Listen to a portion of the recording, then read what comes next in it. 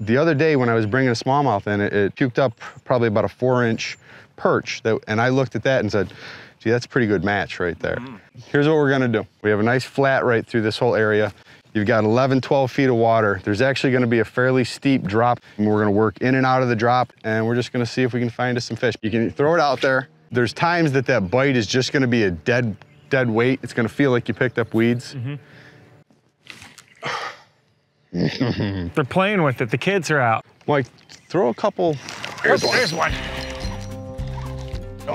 That's, Oh. that's the worst thing in the tur- during a tournament. I'd be crying right there. The TV loves that. Yeah, I'm glad the TV was. there, here's Oh, some yeah. more for the TV. Here you go. Come here. Don't grab the line. That's what they always say. Nice. Nice. That's you know a little two pounder. Mm-hmm.